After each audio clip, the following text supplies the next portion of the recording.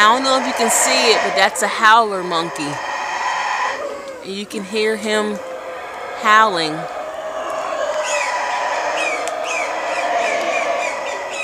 That is so scary.